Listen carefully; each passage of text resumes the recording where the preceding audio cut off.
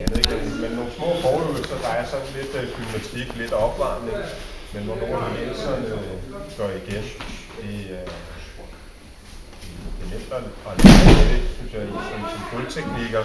Øh, øh, så bruger vi dem alligevel rigtig meget sted i livet, så det gør man selvfølgelig.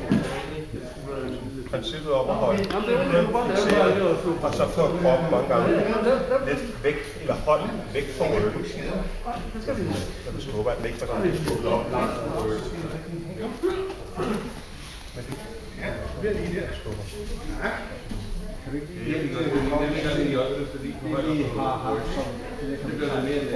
Okay. Og jeg kommer til at starte ned på gulvet med at sidde sakse.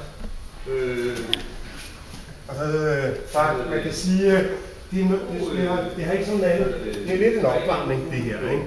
Det kan I jo nok. Næste mere, for for. fanger lidt mere. Og på.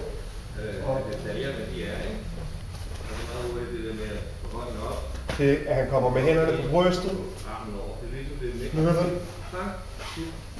Det er det, du ser, når der sker på det ene og det andet. Så meget fedt teknik bagefter, jeg tror også, man kan jo se det nok, jeg skal sige. Flop shot, kast, rulle over. Så gemme den anden sidst, indtil man set, det kan man godt. Og så når man kan det, så kommer man videre til det næste. Det var den ene. Den anden. Og så vil jeg sige, nu skal mave, eller på ryggen. Det er, vi bare sagde, jamen så vil hænderne op, fanger en hånd, ned, og så fanger en hånd. Og det er så sådan at komme ind, okay, fint nok, færdigt hånden, færdigt vores egne hånd, så skal vi lige positionere os, så vi har ordentligt tryk på ham. Det er lidt køler, nogle køler. Den her vej, ikke? Det var, det var ligesom det næste. Så tog vi derfra, og så sagde jeg, jamen, der var sådan tre modeller af en armsnoning. Ja, lige præcis. Ja. Den strakte op ved ørerne. Det der med, at når hænderne kommer ned i niveau med ørerne, så begynder der at komme lidt spænding. Så Jørgens eget øre, altså. Ikke når vi får dem på ørerne. Ja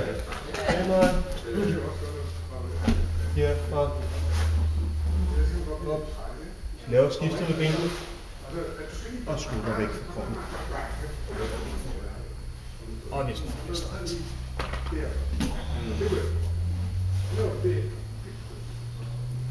Jeg tror sådan set, det var